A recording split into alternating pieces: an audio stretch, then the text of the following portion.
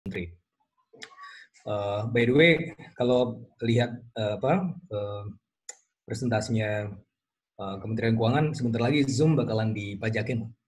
Jadi mungkin apa, uh, mumpung belum dipajakin kita gunakan se apa sebanyak banyaknya. Nah, uh, jadi begini, COVID-19, uh, bagaimana dampak ekonomi? Um, awalnya um, saya membuat beberapa simulasi ya jadi uh, simulasi yang pertama itu skenario nya adalah ketika uh, China adalah yang terdampak gitu ya paling signifikan. Uh, di mana dalam skenario ini tidak tidak kemudian terjadi proses penyebaran ke negara-negara lain.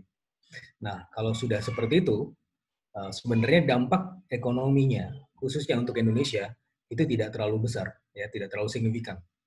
Jadi kalau kita melihat uh, apa namanya uh, setiap satu persen kontraksi dari perekonomian China itu dampaknya terhadap perekonomian Indonesia atau kontraksi untuk perekonomian Indonesia hanya 0,1 sampai 0,2 persen.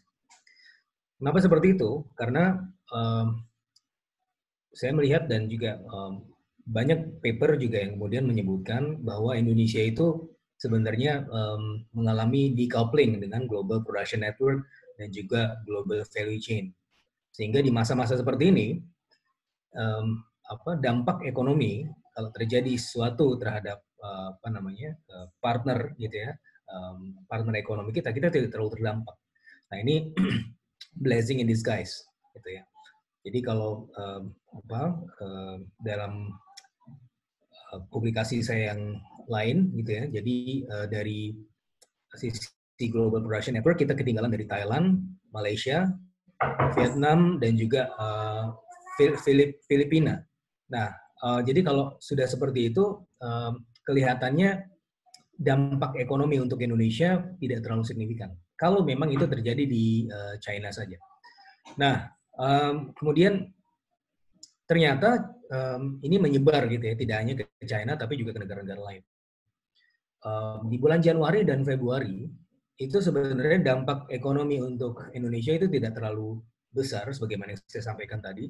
Di bahkan di bulan Januari uh, indeks dari purchasing manager, jadi purchasing manager index itu um, di atas 50 ya. Jadi um, kalau apa namanya secara teknis kalau di atas 50 itu sebenarnya uh, kondisinya bagus sekali.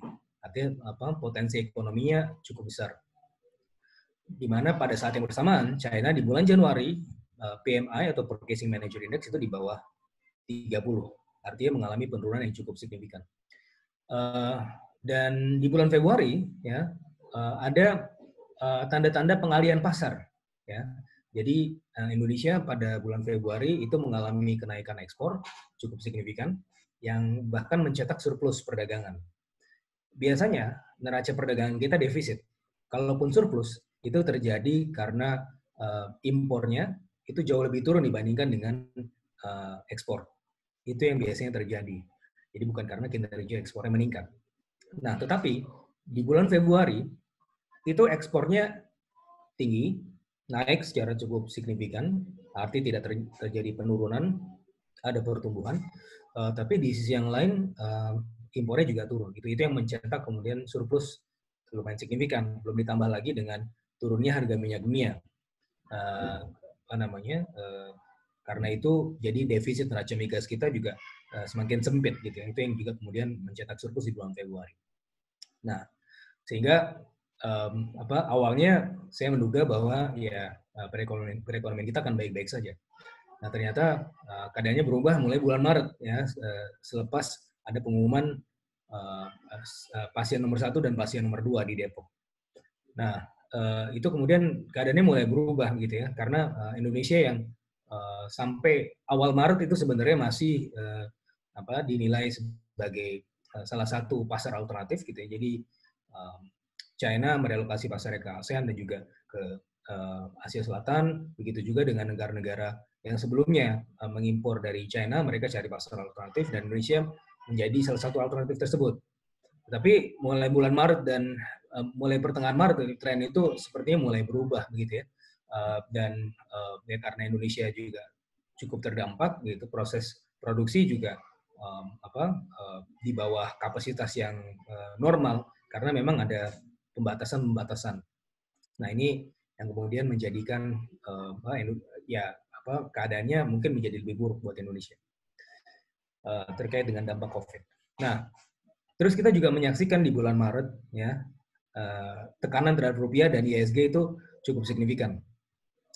Uh, rupiah sempat 17 ribu, bahkan ISG juga sempat 3 ribuan. Nah, kenapa itu terjadi? Nah, itu terjadi salah satunya karena COVID, ya, bukan karena yang lain. Jadi setelah menganalisa beberapa variabel, ternyata yang paling utama itu justru COVID, gitu. Ya. Jadi kalau kita lihat secara fundamental, sebenarnya tidak ada masalah yang memang nilai rupiah itu memang sangat rentan ya. Jadi secara secara topangan ekonomi memang cukup rentan. Itu itu, itu kondisi sandarnya saja memang cukup rentan gitu. Tapi kalau rupiah itu sudah terlalu lemah, artinya under value.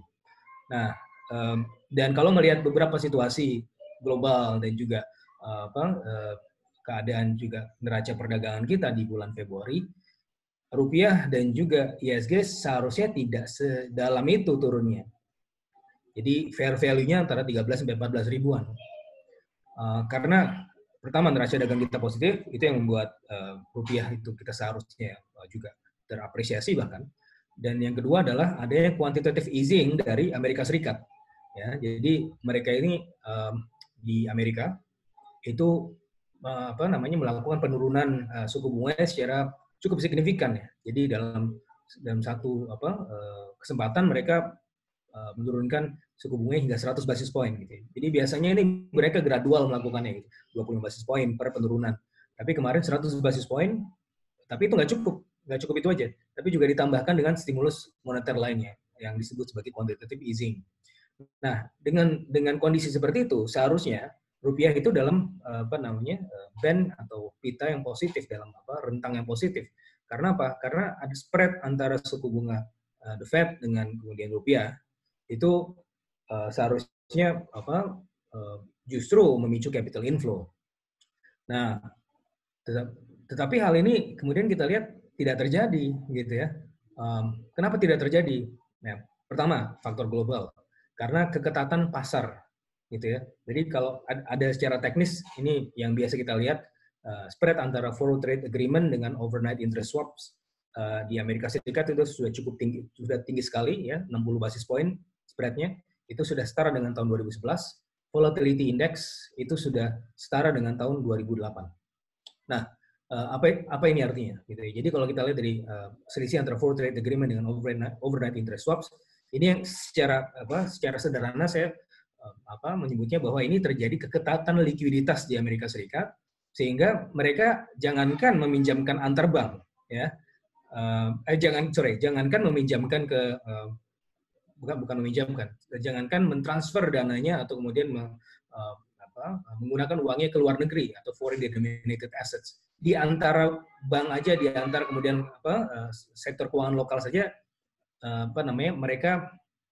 mereka takut-takut gitu untuk menyalurkan dananya gitu apalagi ke luar negeri gitu. Nah, ini yang pertama yang menyebabkan uh, menyebabkan uh, terjadinya uh, apa uh, hambatan dari sisi capital inflow. Itu dari sisi uh, apa namanya dari sisi supply dari sisi uh, globalnya gitu ya. Jadi um, apa dari sisi arus modal yang mengalir ke emerging markets itu terhambat sementara yang sudah ada di emerging markets itu keluar gitu ya karena market fear terutama untuk di Indonesia itu ternyata bukan faktor fundamental seperti yang saya sampaikan tadi tapi uh, lebih karena uh, apa namanya faktor uh, COVID tersebut nah ini bisa dilihat di sini saya langsung ke Sorry. Nah, jadi ini uh, summary-nya aja ya. Jadi ternyata uh, kayak kalau kalau dilihat dari grafiknya begini. Jadi untuk ISG eh, untuk rupiah ini upward sloping artinya uh, shock dari COVID-19 itu itu uh, menyebabkan uh, rupiah semakin terdepresiasi. Jadi rupiahnya semakin besar ininya in terms of apa namanya uh, rupiah per US dollar artinya semakin melemah Eh, terus berikutnya uh, ini untuk ISG. Nah, sebagai summary-nya, uh, jadi meningkatnya satu kasus pasien meninggal atau satu kasus positif itu uh, akan menyebabkan uh, terjadinya uh, depresiasi, ya terjadi depresiasi. Uh, di baik rupiah maupun di SG itu mengalami tekanan. Jadi focal pointnya adalah penanganan terhadap COVID-19 gitu. Jadi kalau kita bicara it's the economy stupid gitu, itu bukan hal yang lain, bukan hal lain, hal yang lain. Ini adalah masalah ekonomi gitu. Kalau kita bicara masalah COVID, ini sebenarnya kita bicara masalah ekonomi. Kita menyelamatkan pasien atau kemudian melakukan kebijakan-kebijakan terkait dengan penanganan COVID itu seharusnya menyelamatkan ekonomi gitu. So it's the economy stupid. Itu itu apa namanya sebenarnya dari sisi perspektif ekonom pun saya masih melihat bahwa uh, tindakan pemerintah untuk mengatasi COVID-19 ini adalah sebagai tindakan rasional secara ekonomi. Karena kita melihat bahwa secara umum inilah yang terjadi. Nah, oke. Okay. Nah, kalau sudah seperti itu, bagaimana kinerja uh, pemerintah gitu ya untuk apa penanganan COVID tersebut? Nah, jadi ini ada rilis yang kami baru buat, ya, uh, kepemimpinan di masa krisis Kabinet Jokowi Maruf mengelola pandemi COVID-19. Nah, ini dilakukan dengan beberapa teman-teman, ada Gradi, ahli politik, Fajri, ini uh, apa namanya data scientist kita, saya sendiri sebagai ekonomisnya, uh, Ivan sebagai apa namanya ahli uh, apa namanya ya, intinya uh, psikolog lah ya jadi behavior. Kemudian uh, Ramatyananda uh, apa namanya uh, ahli komunikasi. Nah dari sini kita mengelola uh, Twitter ya dari bulan Desember sampai awal Maret gitu ya. Jadi awalnya kita membuat ini sebenarnya untuk uh, apa menilai kinerja 100 hari. Tapi kita melihat angle yang lain yang juga menarik jadi kita uh, agak pivoting sedikit jadi melihat bagaimana sih kinerja mereka ini dalam menangani COVID-19. Gitu. Tentunya tidak semua menteri kita bahas di sini. Hanya menteri-menteri yang mencuat saja. Nah, ternyata kalau kita lihat ya, eh, sebagaimana yang juga mungkin teman-teman ketahui, sini eh, apa sentimen ya negatif ya. Eh, ini eh, jadi eh, data ini metodenya kita ambil data crawling uh, melalui machine learning um, um, yang kita kelola sendiri namanya analisa media sosial Nusantara berbasis AI. Ini yang kita kembangkan bersama-sama di Next Policy bersama teman kita di uh, University of Melbourne, Melbourne University, uh, Fajri Koto. Nah, uh, jadi kalau kita lihat sentimen negatif itu memang uh, mencuat gitu ya. Uh, terjadi di antara Maret April. Jadi sorry di antara bulan Februari Maret ya terutama di bulan Februari uh, yang paling tinggi ya. Nah uh, yang jadi uh, apa total tweetnya adalah sekitar 800 ribu tweet ya. Nah kemudian yang menarik juga uh, di sini adalah kalau kita lihat dari sentimen warganet ya yang paling banyak itu pada Nadiem Makarim ya karena ya mungkin di saat-saat seperti ini ya pengetahuan atau fleksibilitas seorang Nadiem Makarim itu uh, kelihatan sekali gitu ya. sehingga kalau dilihat dari keseluruhan menteri 2019 itu buat Nadiem Makarim. Nah, yang menarik lagi adalah ini tidak semuanya kita uh, bahas. Uh, sorry. Oh tidak ada di sini. Jadi ada satu lagi sebenarnya. Oh ya ini, sorry. Ini yang tadi ini adalah uh, Terawan. Saya lupa. Jadi ini adalah uh, tren sentimen publik terhadap Terawan. Dan kita lihat bahwa uh, Terawan ini adalah sosok yang seharusnya cukup sentral gitu ya. Um, tapi kemudian gagal dan bahkan mendapatkan sentimen negatif. Uh, sosok lain yang menurut kita juga cukup sentral adalah adalah uh, apa Pak Tito. Pak Tito ini kan Menteri Dalam Negeri ya. Seharusnya uh, beliau dalam hal ini juga berperan cukup sentral ya terhadap pengendalian atau kemudian koordinasi dengan pemerintah daerah.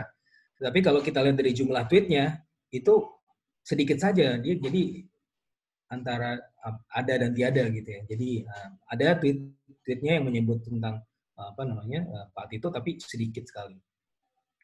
Adapun Terawan ya pastinya dia juga paling banyak disebut terutama ketika kita apa namanya menggabungkan antara Terawan dengan Corona gitu ya paling banyak disebut tetapi negatif sekali, gitu, negatif sekali. Karena apa? Karena uh, mayoritas dari netizen melihat uh, ya yang sosok yang patut disalahkan ya untuk apa uh, keadaan COVID yang kemudian menjadi seakan-akan tidak terkendali ini adalah Terawan. Nah, yang menarik lainnya adalah kemudian uh, ada beberapa sosok menteri yang um, apa namanya yang sebenarnya sih seharusnya kalau dalam kondisi seperti ini bukan merupakan uh, menteri yang menteri yang uh, cukup sentral, tetapi mereka-mereka ini melakukan usaha-usaha yang cukup cukup signifikan gitu. Nah, um, saat, uh, ini ada beberapa di antaranya. Saat, salah satunya adalah Sri Mulyani. Nah, Sri Mulyani, ya, berdasarkan pantauan mesin AI kami, itu di bulan Januari, jauh sebelum Terawan, itu sudah mewanti-wanti bahwa corona ini akan menghantam ekonomi kita, gitu. Jadi sudah sudah dari awal ya sebagai Menteri Keuangan sudah melihat bahwa ini coronavirus ini uh, bakal ini nih bakal negatif buat perekonomian dan juga kemudian Sri Mulyani juga melihat kan pet, uh, sepertinya juga melihat peta penyebarannya dan uh, apa sangat mewaspadai, bahwa ini akan masuk ke Indonesia. Dan kita juga melihat bahwa yang memegang peranan penting dalam stimulus fiskal 400 triliun tersebut ya sebagai salah satu uh, apa uh, orang yang berada di KSSK Komite Stabilitas Sistem Keuangan adalah juga Sri Mulyani gitu ya dan beliau menjadi sentral atau fokus sentral dalam hal ini. Menteri yang lain yang juga menurut uh, kami juga memegang peranan yang cukup penting adalah Erick Thohir. Nah, Erick Thohir ini uh, apa? Uh, dia berhasil pivot ya. Meskipun ya Erick Thohir sendiri ya dalam apa beberapa pantauan kami itu cukup cukup apa ya cukup stabil berada di posisi uh, jajaran menteri paling sering disebut itu ya, bersama dengan Nadiem Makarim uh, dan beliau ternyata ya berhasil juga untuk mempertahankan posisi tersebut dengan uh, apa namanya uh, beberapa kebijakan-kebijakan yang cukup penting seperti misalnya merubah wisma atlet menjadi uh, salah satu uh, tempat untuk isolasi pasien uh, COVID-19. Nah, ini ada beberapa menteri yang menurut kami uh, patut menjadi perhatian.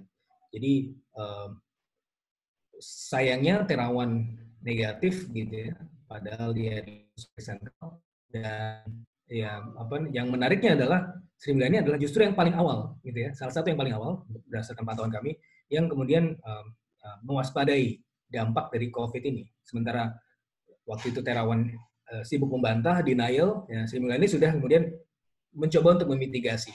Makanya apa yang kita lihat sekarang ya ini sangat cepat sekali ya.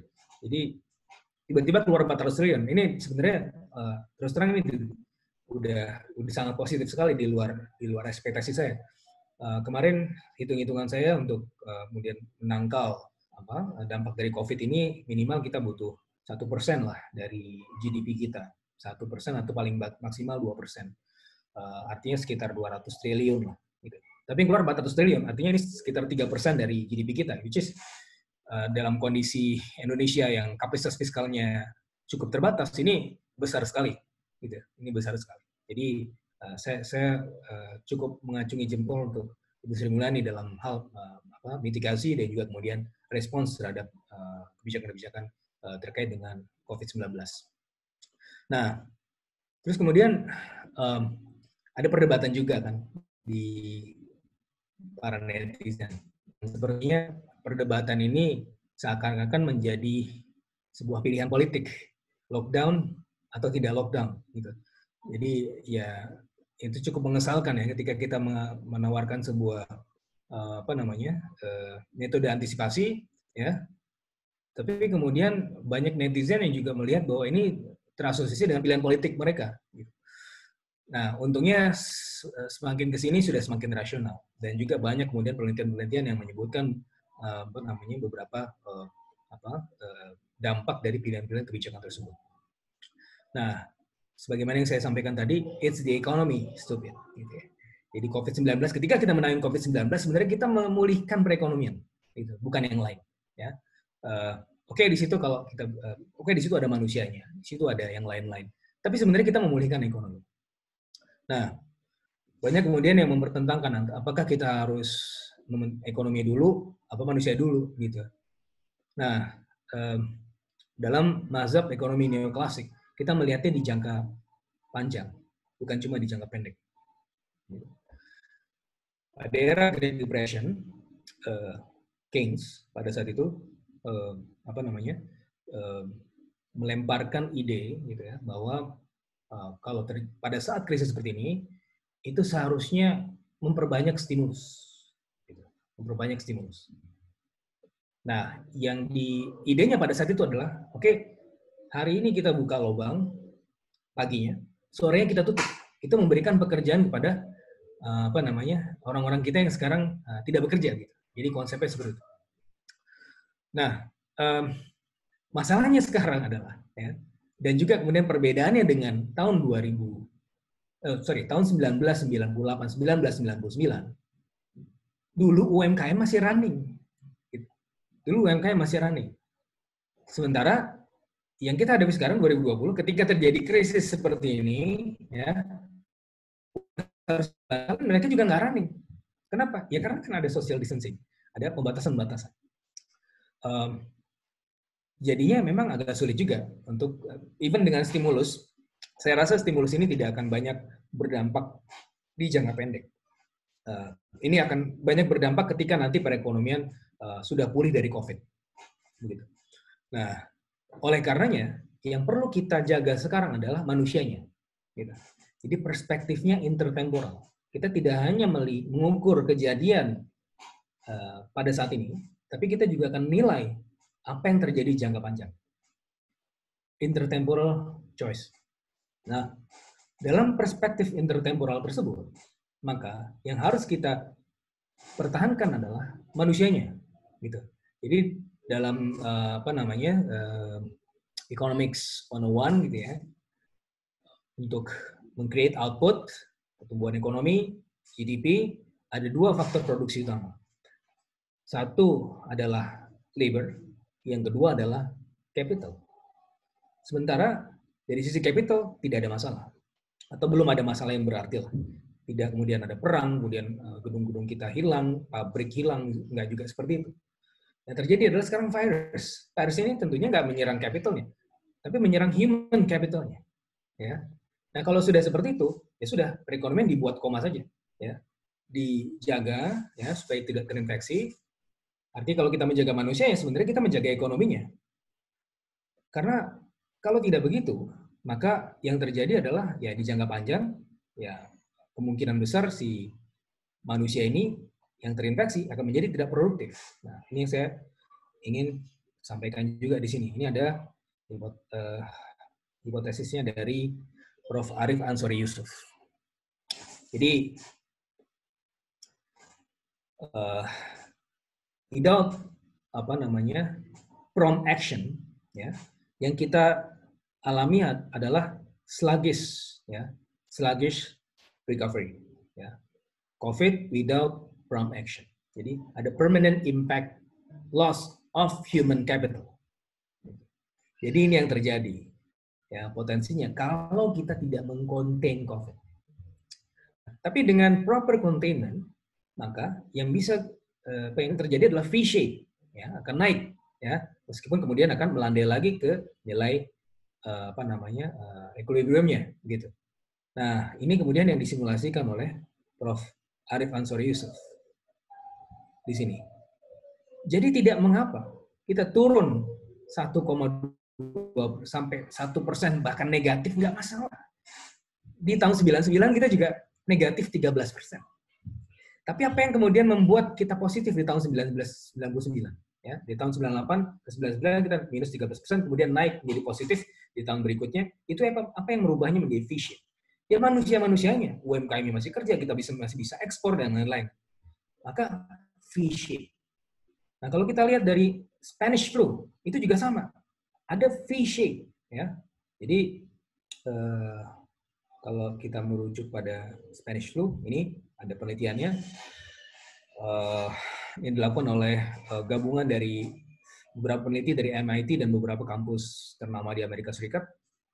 Nah, ini adalah counterfactual, ya counterfactual di jadi ini kasus ada kasus Spanish flu tahun 1918 Dan ini adalah negara-negara atau uh, negara-negara bagian atau uh, kota-kota ya, kota municipalities di di Amerika Serikat.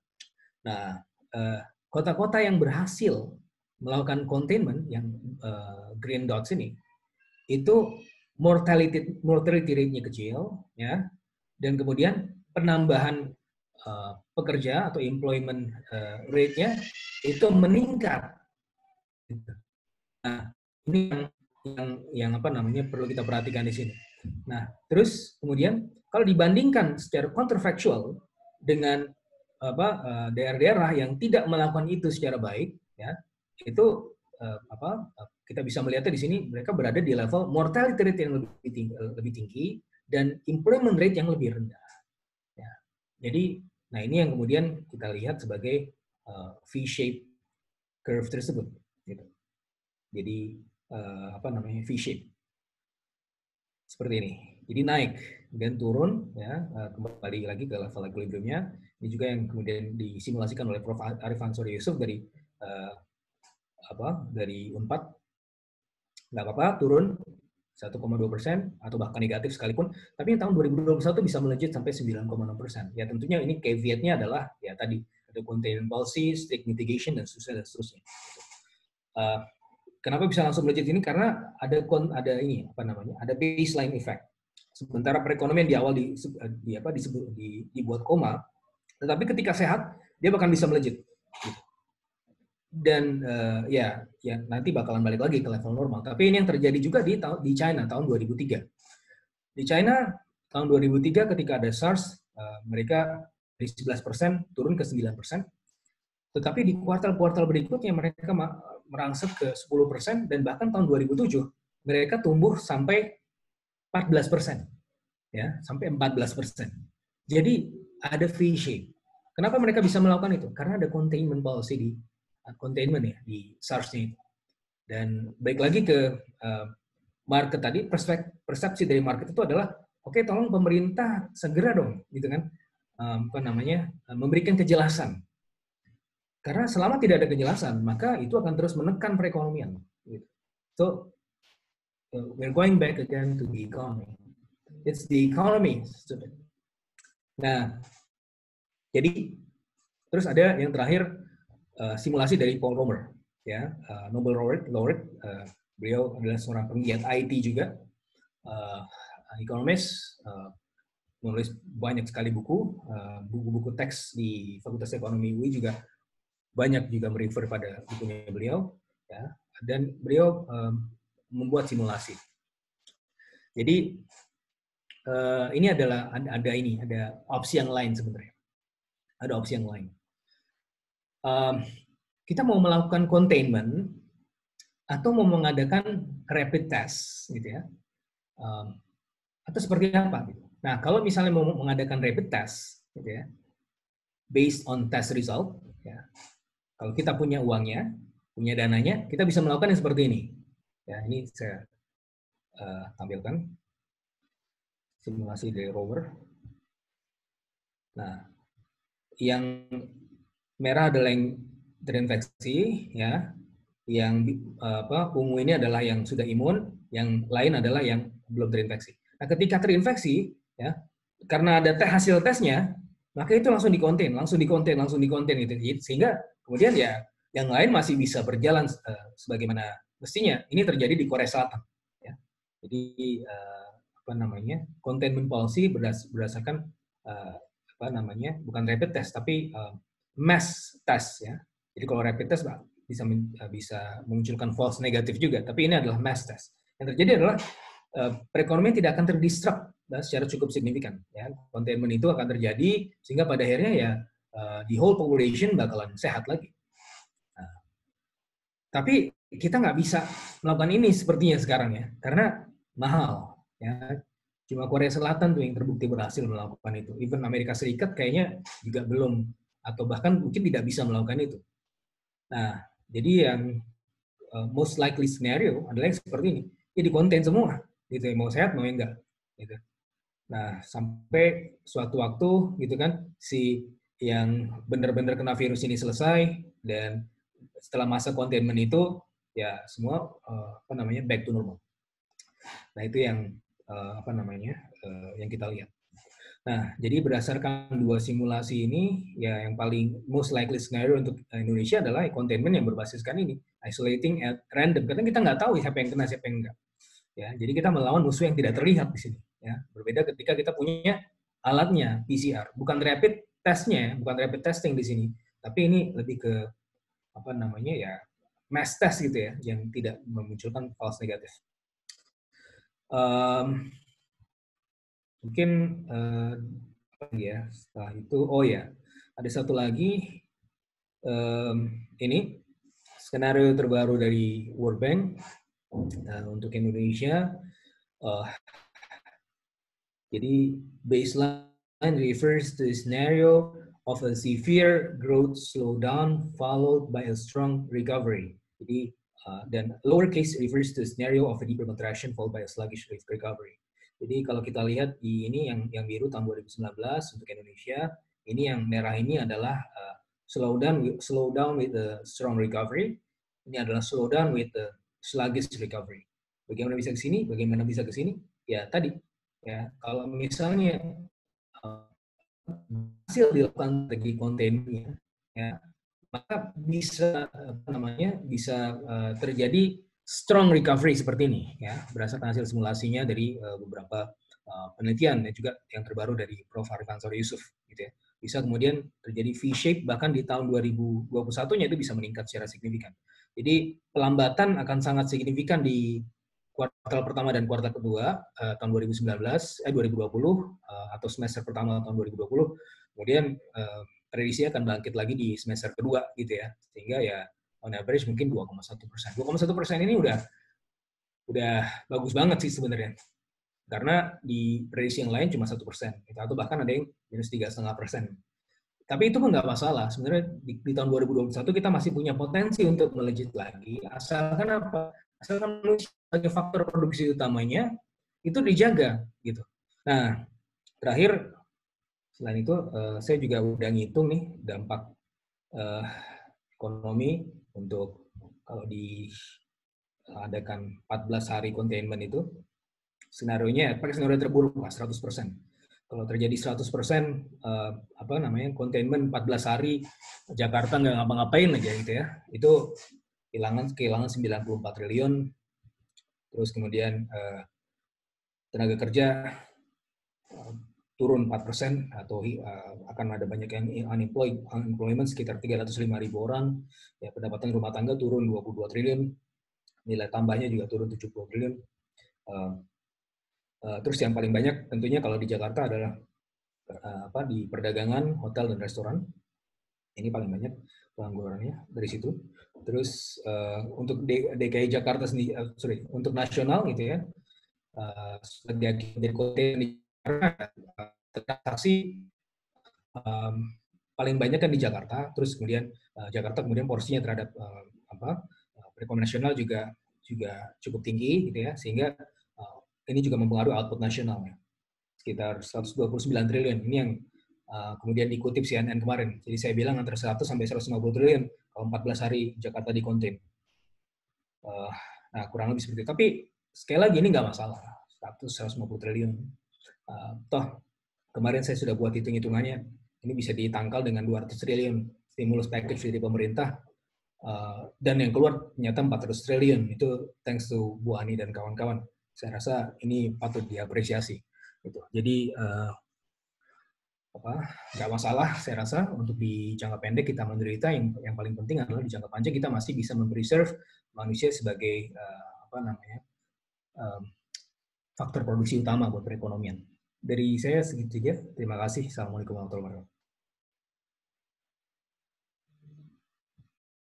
Ya, uh, baik. Waalaikumsalam warahmatullahi wabarakatuh. Terima kasih banyak Mas Fitra atas paparannya yang cukup komprehensif ya. Jadi dibuka dengan beberapa data dan penjelasan yang cukup rasional sebenarnya apa yang terjadi dengan perekonomian kita sejak bulan Januari yang Januari Februari yang masih baik-baik saja tiba-tiba pada saat diumumkan kasus pertama kemudian terjadi sudah mulai terjadi perubahan yang signifikan gitu ya. Uh, dan tadi mungkin catatannya juga catatan pentingnya adalah uh, tidak bisa lagi sebenarnya narasinya ini antara menyelamatkan ekonominya dulu atau manusianya dulu karena kalau ternyata manusianya tidak diselamatkan itu itu juga justru berdampak terhadap kehancuran ekonomi yang semakin besar. Jadi satu kasus meninggal saja pelemahan rupiah yang akan terjadi 78 US dollar selama dua hari gitu ya dan uh, akan angkanya akan bertambah besar lagi dalam satu pekan atau dalam 10 hari.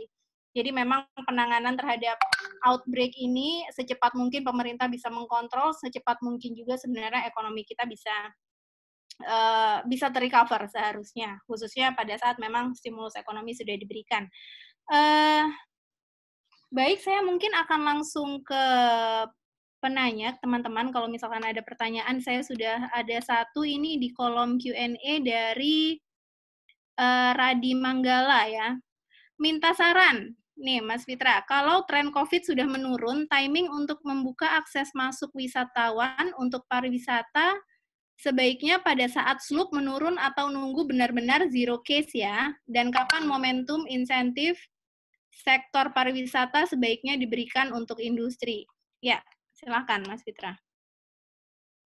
Ya, terima kasih Bro Radi ya. Jadi Wisnu Tama, menterinya sampean juga uh, menjadi salah satu fokus penelitian kami ya, di Next Policy.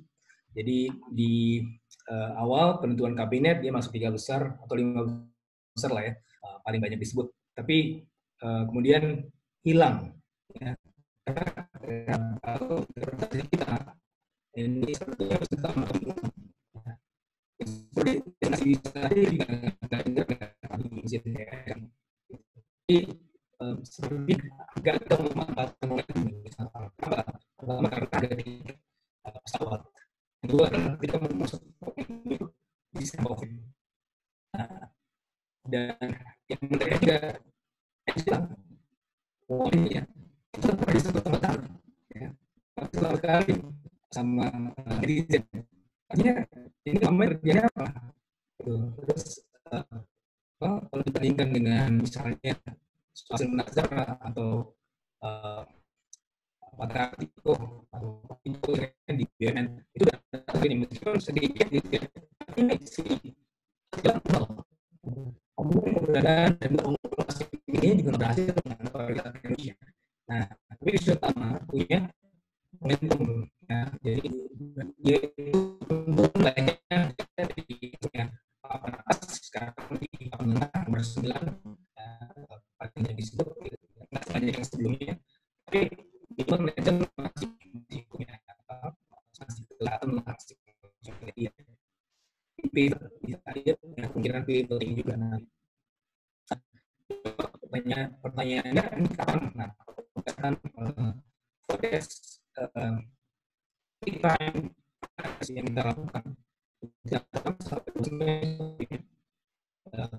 banding di bulan yang mudah-mudahan di Juni planning nah, juga ini akan di China di China ya berhasil sini sekarang mereka sudah kan ada prestis mereka sudah tahu apa namanya uh, ini uh, mass production salah satu indikatornya adalah uh, apa uh, coal production mereka itu udah meningkat gitu Nah, mungkin buat teman-teman dari Bersihkan Indonesia ini mungkin agak worrying ya. Tapi buat ekonomi kita oke okay, mereka udah, mereka udah, dan ini sesuai dengan prediksi sebelumnya, di bulan April mereka sudah, sudah mulai running well lagi gitu. Nah, dengan pola yang sama, uh, Indonesia ya sekitar bulan Juni. Nah, kapan nih bisa dibuka stimulusnya buat sektor pariwisata? Ya bulan Juli lah, bulan Juli. Nah, saya punya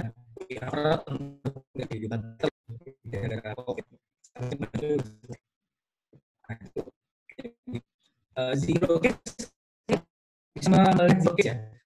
Tetapi ya namanya Mas virus ya nggak ada yang bisa. Ya, ya. Mas Fito maaf uh, tadi suaranya agak putus-putus. Apa mungkin bisa coba kita coba mungkin uh, matiin videonya dulu, coba kita tes suara lagi.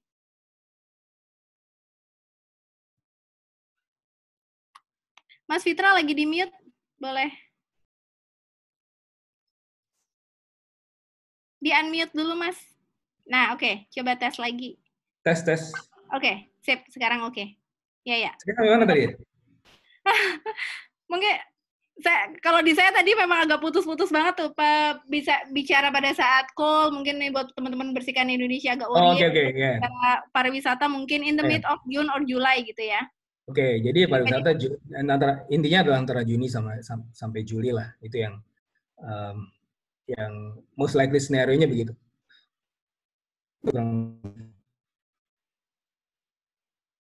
Halo, kedengar iya. nggak? Baik, teman-teman tadi kayaknya memang agak putus-putus. Uh, ini apa namanya penjelasannya Mas Fitra. Mungkin nanti kalau ada yang mau ditanyakan lagi silahkan langsung diketik saja gitu ya. Takutnya ada beberapa penjelasan penting yang kita semua kelewatan nih sama-sama kelewatan. Tapi nggak apa-apa. Baik saya akan langsung ke penanya berikutnya. Uh, ada Mbak Yaya dari Walhi Eknas dan kemudian setelah Mbak Yaya saya akan langsung ke Mas Pius. Mas Pius dari AIR silakan Mbak Yaya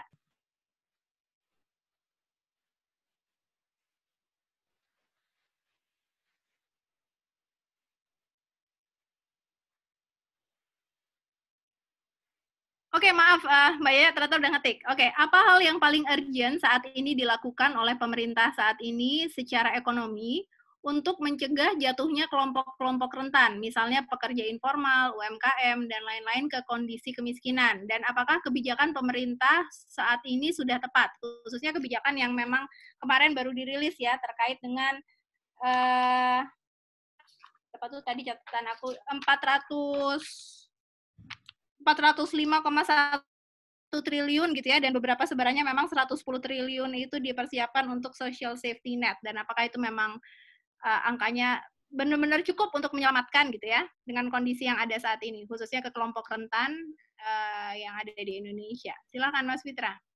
Uh, kalau cukup mungkin nggak ada yang cukup ya.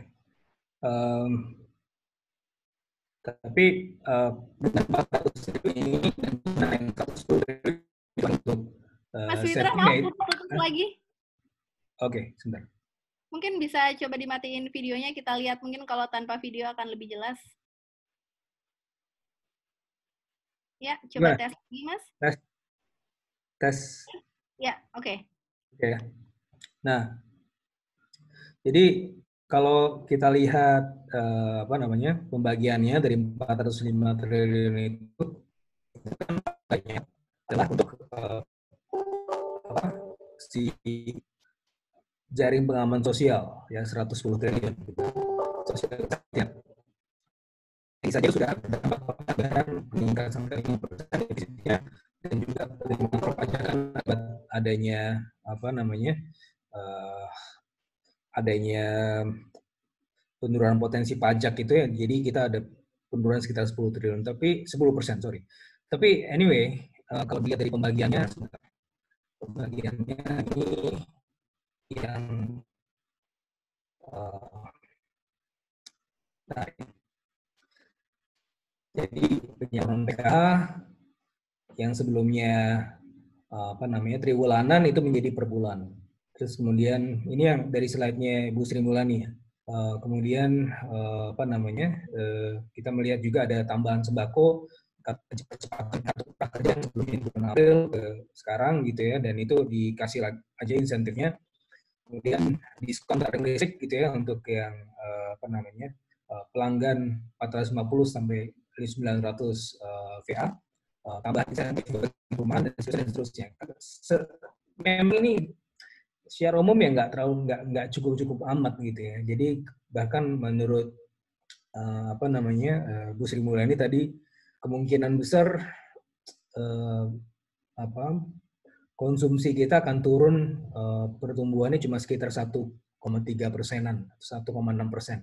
Biasanya tumbuh 5 persen, tapi ini mungkin bisa jatuh ke situ. Salah satunya adalah karena banyak ini ya, isu pekerja harian gitu ya, UMKM dan lain-lain yang yang mereka nggak bisa beroperasi lagi. Beda pada tahun 1998, 1999 dulu. Kan isunya bukan virus, tapi isunya adalah sektor moneter. Tapi yang sektor real masih jalan terus gitu. Nah, tapi sekarang kan berbeda. Gitu. Nah, makanya ini yang apa namanya? Uh, saya rasa ya memang butuh penanganan lebih lanjut. Uh, 110 triliun saya rasa untuk sementara ini masih cukup memadai ya. Uh, dan kalau melihat dari presentasi Ibu Sri Mulani pagi tadi, sepertinya 400 triliun ini kalau dievaluasi belum efektif, ya akan lagi, gitu ya, akan ditambah lagi. Sebenarnya pembagiannya adalah dari 200 dari 400 triliun itu adalah 255 triliun itu adalah untuk yang langsung dikasih, yang 150 triliun itu adalah untuk cadangan. Kalau misalnya belum apa namanya dievaluasi ternyata belum apa efektif atau belum uh, apa namanya belum memperbaiki keadaan ekonomi masyarakat terbawah, maka dicadangkan lagi melalui uh, eh, PMN atau uh, apa moda-moda atau wadah-wadah yang lain. Ya pastinya akan tinggi gitu. Kalau menurut hitung-hitungan saya ya sekitar ada potensi dua juta, sejuta orang lah ya uh, ini akan kehilangan pekerjaan dan penduduk yang rentan miskin ini yang sekitar 89 juta orang ya ini harus di taken care of. Dan untungnya dari beberapa liputan media kita juga sudah melihat bahwa yang 89 juta ini sepertinya um, apa ya bisa handle lah. Ya. Tinggal masalahnya ya efektivitasnya aja di lapangan itu. Kalau uangnya saya rasa udah udah ada alokasinya. Oke, okay, terus bear in mind kita agak berbeda dengan India ya. Sistem BLT kita itu udah established sejak zaman SBY tahun 2008 dan udah bahkan udah sangat well appreciated gitu ya di dunia menjadi referensi untuk untuk uh, uh, apa cash transfer baik yang conditional maupun yang unconditional cash transfer. Jadi dengan seperti itu saya rasa sih uh, kita nggak bakalan chaos kayak India kalaupun ditutup gitu ya. Jadi uh, apa masih masih masih bisa bernafas lah apalagi dengan sistem BLT kita yang sebenarnya masih cukup baik. Uh, belum lagi ditambah dengan uh, kalau yang di konten kan bukan bukan the whole nation tapi ya paling yang terdampak aja Jakarta dan sekitarnya mungkin. Itu Mbak Indun. Ya, baik. Kemudian saya akan langsung ke penanya kedua. Ini dari, mungkin saya akan mulai dari Mbak Mariati dulu ya. Setelah itu mungkin ke Bang Pius. Maaf Bang Pius. Ternyata saya salah urutan nih. Oke, Mbak dari Mbak Mariati, PWYP, seberapa efektif insentif perpajakan menopang perekonomian dalam masa pandemi ini? Seperti kita tahu, tadi juga sudah sempat ngobrol nih Mas Fitra bahwa beberapa pasal dari Omnibus Law terkait dengan relaksasi pajak itu juga akan dipasukkan gitu ya sebenarnya untuk uh, dalam paket stimulus ekonomi ini dan sebenarnya apakah itu efektif gitu ya di kondisi saat ini. Silakan Mas Fitra. Iya, uh, Mbak Indun. Ini saya jelas ya kedengaran nih suaranya. Jelas kok, jelas. Oke. Okay. Nah, uh, ini kalau kita lihat ya insentif di bidang perpajakan, jadi ini ada perpu yang seharusnya teman-teman juga sudah punya ya, udah disebar ke WhatsApp group. Uh, ini ada penurunan tarif PPh Badan, ya, penurunan tarif PPh Badan Go Public, ya. Uh, terus kemudian ada pemajakan atas transaksi elektronik, perpanjangan jangka waktu permohonan uh, penyelesaian administrasi dan juga fasilitas kepabianan. Beberapa dari sini itu sebenarnya adalah materi di omnibus law. Ya, uh, sebelum kita melakukan diskusi ini tadi ya setelah zuhur ya kalau nggak salah, saya telepon teleponan sama Pak Suhasil Nazar, nah uh, wamen kita, wamen uh, keuangan. Um, jadi kenapa dimasukkan ke Perpu? Karena kalau nunggu omnibus law ini nggak selesai, ya padahal kita butuh segera untuk kemudian memajukan insentif ini. Nah makanya dimasukkan ke Perpu. Uh, dan kenapa yang ini ya? Jadi nggak semua materi dari omnibus law itu dimasukkan perpu tentunya. Karena kan omnibus law sendiri itu masih banyak pertentangan dan poin-poin kontroversial yang yang juga sampai sekarang belum selesai. Uh, dan makanya yang yang dimajukan adalah poin-poin yang memang betul-betul dibutuhkan untuk perekonomian. Salah satu adalah relaksasi perpajakan. Nah ini yang kemudian uh, menggairahkan lah perekonomian ya jadi ada penurunan tarif PPH dan juga lain-lain. Cuma yang memang masih agak questioning, tadi saya juga sempat tanya-tanya sama Pak Suhasil ini kenapa ada pemajakan atas transaksi elektronik. Uh, uh, sementara saya juga sebenarnya di, di apa, bersama Indonesia Service Dialog juga melakukan penelitian yang mana juga sebenarnya konsepnya adalah menentang ini.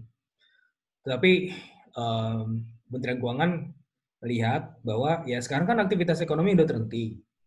Nah, karena sudah terhenti, maka kan banyak nih yang work from home dan segala macam. Transaksi-transaksi pun switching segala macam. Uh, to that extent mungkin ya bisa dimengerti juga gitu ya. Karena kalau kita lihat Zoom apa segala macam mereka kan sebenarnya nggak melakukan investasi ke Indonesia, ya. Tapi kalau tercatat di neraca uh, perdagangan, itu kan sebagai uh, ini apa namanya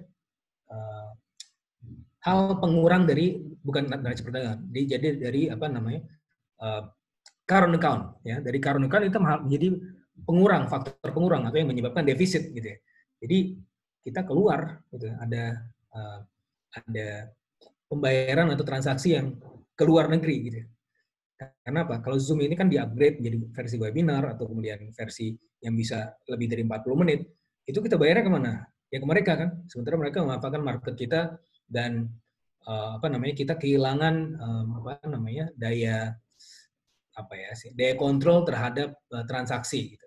Nah dari sisi ini mungkin saya sepakat gitu. Jadi ini adalah kemudian uh, apa namanya ya ada potensi pajak baru lah ya. Jadi bedanya kita dengan Korea Selatan, dengan uh, Amerika Serikat, dengan uh, Australia, Amerika Serikat bisa 10% dari GDP-nya. Kenapa? Karena ya pertama tax ratio mereka tinggi, terus kemudian koneksi mereka dengan apa namanya aktivitas perekonomian itu juga cukup tinggi gitu ya. Jadi uh, akibatnya mereka punya banyak uh, firepower untuk keadaan-keadaan seperti ini. Sementara kita yang ini aja kan udah ngos-ngosan. 3% dari GDP. Um, Oke, okay, selain insentif perpajakan sebenarnya ada insentif-insentif lain dari uh, Bank Indonesia dan juga OJK terutama dalam hal relaksasi uh, apa namanya penilaian kredit. Jadi dari sisi Bank Indonesia sendiri untuk kemudian uh, memberikan supply yang memadai terhadap uh, apa namanya perbankan gitu ya. Jadi mereka menurunkan giro wajib minimum ya selain giro wajib minimum kemudian ada beberapa relaksasi relaksasi yang kemudian dilakukan oleh Bank Indonesia yang kemudian yang dilakukan oleh Bank Indonesia juga kemarin adalah sebelum adanya Perpu ini juga mereka menurunkan suku bunga nah ini yang menarik biasanya ketika terjadi depresiasi nilai tukar yang dilakukan adalah ya Bank Indonesia biasanya mencoba untuk kemudian maintain depresiasi nilai tukar itu dengan meningkatkan suku bunga. Tapi yang kemarin yang dilakukan adalah menurunkan bukan menaikkan tapi menurunkan. Nah, uh, kan juga banyak yang banyak yang bertanya-tanya ini kenapa bank sentral menurunkan pada saat si apa rupiah terdepresiasi ya. Ternyata ya memang jawabannya adalah karena pergerakan rupiah itu bukan fundamental. Pergerakannya karena covid. Jadi mau dinaikkan juga ya makin memperparah perekonomian. Maka yang dilakukan oleh bank Indonesia kemarin sudah cukup tepat menurunkan suku bunga ya sudah uh, apa namanya kemarin 25 basis point dan sekarang tinggal empat setengah persen suku bunga kita uh, seven days repo rate-nya. Nah ini uh, bermanfaat untuk perekonomian karena yang perekonomian butuhkan sekarang adalah stimulus, bukan bukan constraint, bukan kontraksi moneter, tapi stimulus gitu. Itu juga yang kemudian dilakukan oleh negara-negara lain. Gitu. Um, ya kalau dari sisi ini relaksasi tentunya ya akan akan sangat bermanfaat untuk industri ya yang sekarang kesulitan untuk bayar uh, bayar upah pekerjanya kesulitan untuk bayar listrik gitu ya. Jadi sebenarnya usulan saya yang lain kemarin uh, apa subsidi listrik itu tidak hanya untuk yang UMKM atau yang 450 900 uh, VA, tapi ya juga untuk industri. Kenapa? Karena mereka kan apa sekarang nggak hampir nggak operasional. Padahal mereka harus bayar listrik juga, harus bayar karyawan. Kan mereka adalah ya melay-off karyawannya gitu, melayoff karyawannya. Nah, untuk supaya itu tidak terjadi, maka ya seharusnya ada subsidi utilitas, ada subsidi juga buat uh, apa uh, gaji para pekerja ya 25 persen lah, gitu kan. Seperti misalnya di UK atau di Kanada ya atau di beberapa tempat yang juga melakukan subsidi serupa gitu sehingga ya PHK-nya nggak nggak namanya nggak nggak tinggi gitu ya. Selain juga pemerintah memberikan BLT tadi, BLT dan juga relaksasi dan juga kemudian dari sisi moneter juga ada relaksasi. Jadi saya rasa kalau dilihat dari at all front gitu ya semua yang dilakukan oleh saya, saya melihat bahwa kinerja tim ekonomi gitu ya, eh, dalam kabinet ini itu cukup baik gitu ya. Uh, kalau yang lain enggak, ya. tapi kalau tim ekonomi ya, ya karena mereka cukup tanggap ya sebagaimana yang kita tangkap juga di di apa namanya uh, mesin pencarian AI kami bahwa ya uh, dalam hal ini fokus atau sosok sentral dalam perekonomian dalam melakukan mitigasi-mitigasi terkait COVID-19 adalah Bu Sri Mulyani dan dia sudah paling awal ya tanggap dan juga kemudian mewaspadai dampak dari COVID. Sehingga ini tidak terjadi sehari dua hari nih, stimulus segala macam ini tidak terjadi sehari dua hari. Pastinya udah dipikirkan dari bulan Januari. Gitu. gitu. Dan ini ya subject to evaluation. Ya. Ini sangat dynamic ya. Kalau kita lihat paket stimulus 1, 2, dan 3 kemarin yang uh, ternyata apa uh, saya coba saya nggak salah ini awalnya dia juga ngasih paket stimulus awalnya stimulus uh, untuk mana nih? Mungkin nggak ada di sini tapi intinya sih sim, paket stimulus ini kan ada beberapa ya. Jadi dari satu kedua gitu kan. Ternyata yang satu dua nggak efektif dan dinilai tidak cukup gitu ya. Kalau nggak salah besarannya cuma 20-an triliun awal itu. Nah ditambah sekarang 400 triliun. Saya rasa ini juga buah pemikiran yang udah di udah udah matang gitu ya sehingga keluar uh, 400 triliun ini itu Mbak. Ya, uh, baik Mas Fitra. Uh, pertanyaan selanjutnya dari Bang Pius, ini dari organisasinya dari AIR ya. Dari anggaran Kementerian Kesehatan APBN 2020 sebesar 57,4 triliun dan anggaran respon COVID khusus untuk penanganan kesehatan sebesar 75 triliun. Tampaknya ini menandakan uh, untuk uh, fasilitas kesehatan menjadi tidak terlalu ambisius. Mungkin ini uh, Bang Pius juga membandingkan dengan beberapa porsi uh, angka lain gitu ya yang kemudian menjadi lebih besar atau paling enggak 70 ada 70,1 triliun yang digelontorkan untuk industri dan ada 150 triliun yang memang untuk anggaran khusus penanganan Covid. Tetapi di sini tetap dilihat kira-kira ini masih akan tetap menjadi persoalan nggak sih gitu. Bagaimana keseriusan pemerintah uh, menggelontorkan uang atau dana untuk sebenarnya uh, mensupport fasilitas kesehatan kita juga tenaga medis dalam khususnya dalam mencegah pencegah penyebaran COVID yang lebih masif lagi. Iya, terus terang saya bel, apa nggak tahu hitungan-hitungannya secara persis ya berapa yang dibutuhkan untuk um, apa sektor kesehatan. Uh, tentunya kalau dibandingkan dengan sektor-sektor yang lain gitu ya, uh, ini ya bukan dibilang ya bukan yang paling kecil juga gitu ya 75 triliun versus 70 triliun untuk industri gitu. Industri juga butuh dukungan uh, sebagaimana sektor kesehatan juga butuh dukungan gitu ya. Uh, dan ada dana uh, pembiayaan anggaran ini yang pemulihan perekonomian nasional ini sebenarnya ini kalau saya baca masih wilayah abu-abu gitu. 150 triliun ini sebenarnya bisa bisa aja dialokasikan buat kesehatan juga karena ya ini kan kalau saya menangkap dari apa yang disampaikan oleh Bu Ani ini sebagai dana cadangan aja gitu. Ya. Jadi dalam rangka mendukung program pemulihan ekonomi nasional dan ini ya kalau balik lagi ke konsep kita yang awal tadi sistem rumah sakit, kesehatan segala macam itu juga mas, masih masuk dalam program pemulihan ekonomi nasional. Karena di situ juga termasuk salah satunya adalah uh, yang 75 triliun ini adalah untuk membayar uh, ini apa rumah sakit rumah sakit uh, apa namanya yang uh, belum dibayar sama BPJS gitu. Dan dalam dalam secara implisit itu sebenarnya me, menyebut, eh, apa namanya Bu Ani juga menyebutkan bahwa ini sebenarnya ini juga masalah ekonomi gitu. Ketika ini dimasukkan ke ke Perpu ya, uh, Perpu yang dikeluarkan oleh KSSK ya. Jadi ini secara semantik ini se seharusnya gitu ya bahwa item-item yang ada di sini ya kesehatan, social safety net, dukungan industri, dan juga dukungan pembiayaan anggaran, semuanya itu adalah ekonomi. gitu. Jadi ketika ini dibahas oleh Menteri Keuangan, berarti ini adalah masalah ekonomi. Ketika itu dibahas oleh Bu Sri Mulyani, oleh Erlangga, Pak Erlangga Hartarto, oleh Pak Peri Warjo, Pak Wimbo, eh, dan juga Pak Halim, ditambah juga Pak eh, Suhasil tadi pagi, ya secara bersamaan, berarti ini sebenarnya adalah masalah ekonomi, gitu. Nah, kalau begitu ya saya tangkapnya ya mungkin bisa salah kita bisa lihat nanti evaluasi.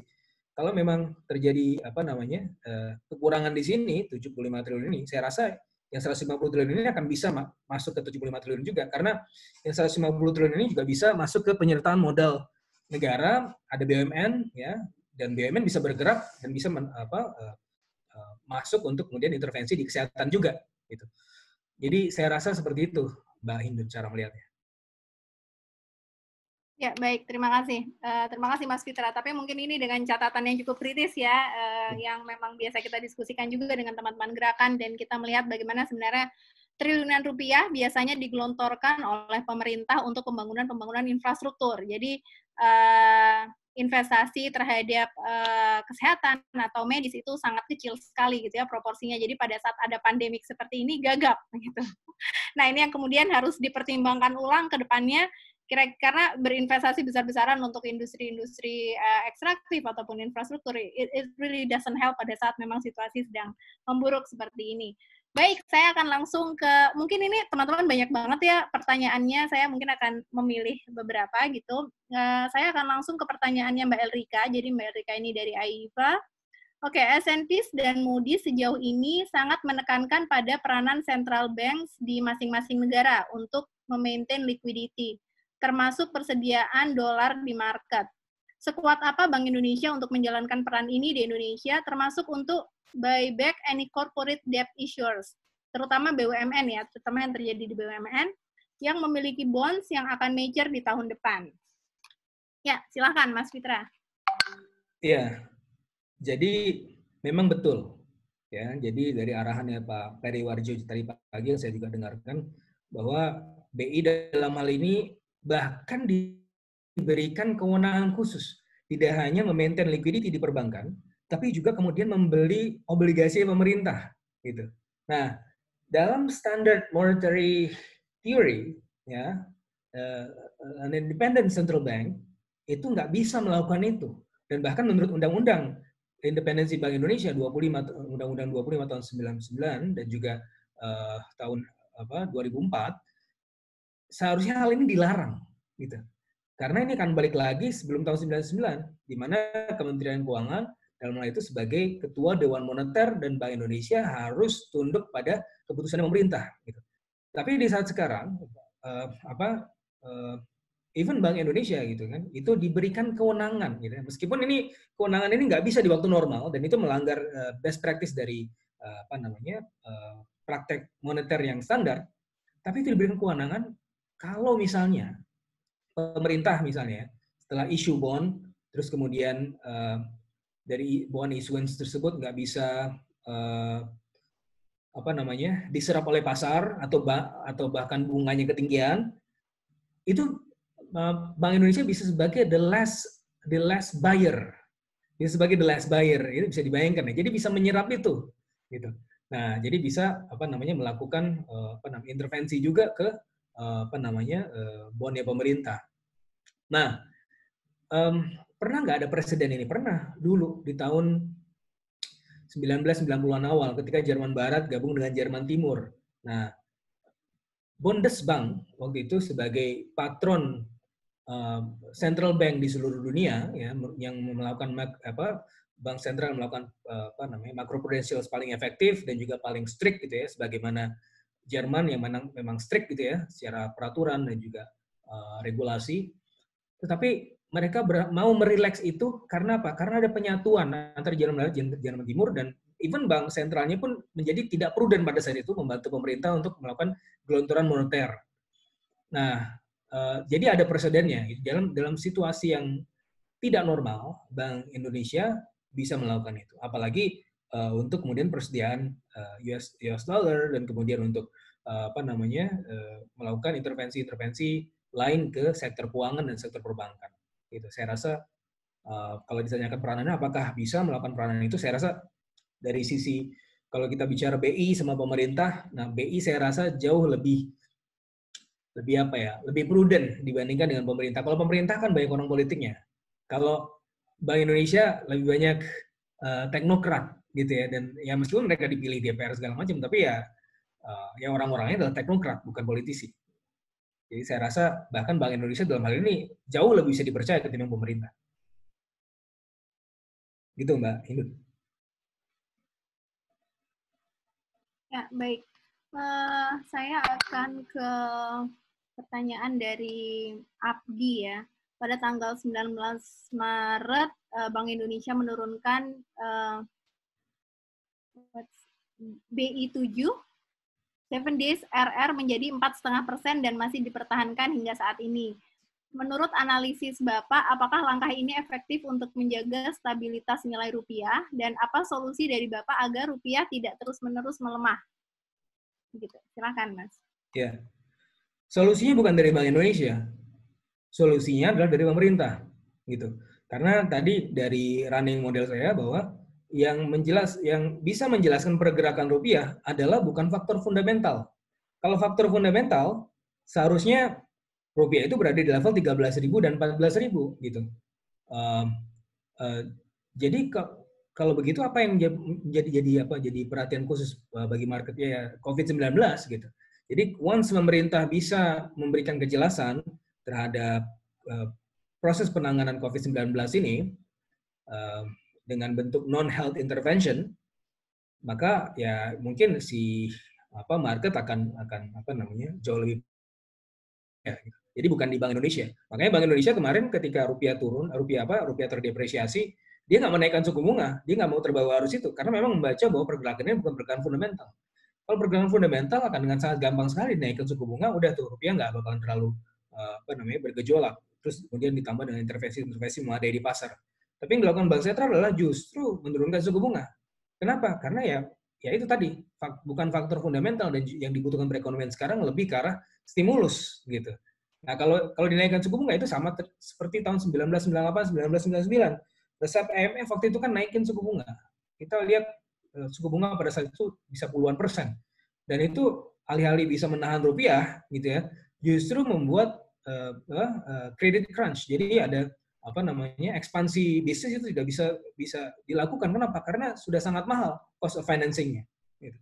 Nah, langkah dari bank sentral dengan menurunkan suku bunga ini selain juga untuk menjaga stimulasi moneter di apa namanya perekonomian juga untuk uh, apa menurunkan cost of financing dari uh, apa namanya firm sehingga seharusnya ini secara fundamental akan mampu mendongkrak uh, apa namanya nilai perusahaan dan juga IISG secara umum gitu, gitu Mbak Iden.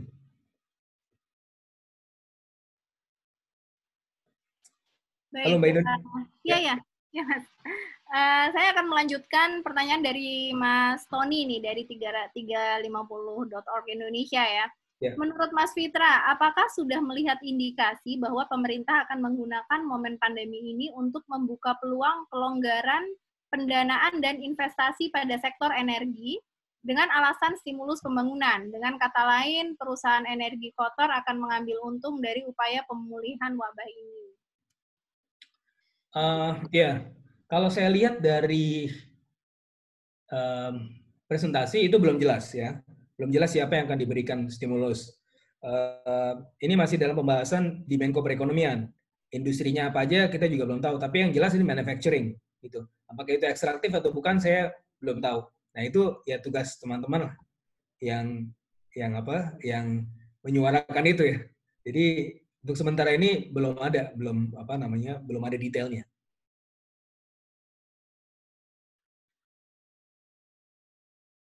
Ya, Mbak Inun, silakan.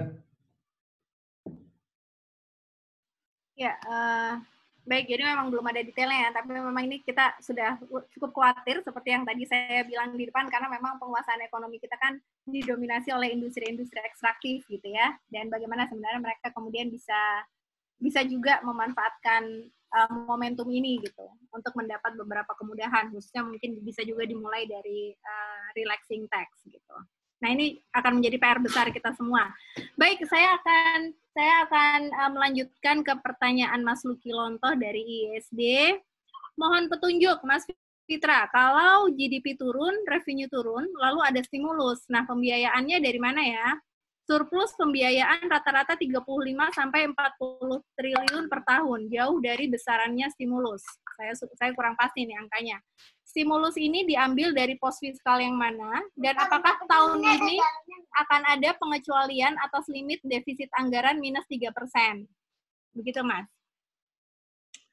Iya, jadi kalau um, dananya dari mana gitu ya? Dananya pertama adalah dari Eh, relokasi anggaran ya jadi anggaran infrastruktur itu udah pasti tuh nggak nggak dilanjutkan uh, dan kalau saya tanya Pak Suasil uh, tadinya kan uh, juga banyak yang tanya ini uh, ibu kota baru gimana nih? Jadi masih jadi prioritas apa enggak? Yang jelas menurut Pak Suhasil di APBN tahun 2020 dan 2021 itu belum ada anggaran untuk itu, gitu ya, untuk uh, apa namanya ibu kota.